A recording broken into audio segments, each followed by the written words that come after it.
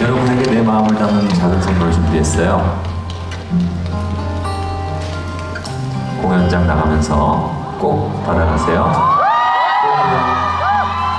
여러분 잘 가요. 아, 잘 가요.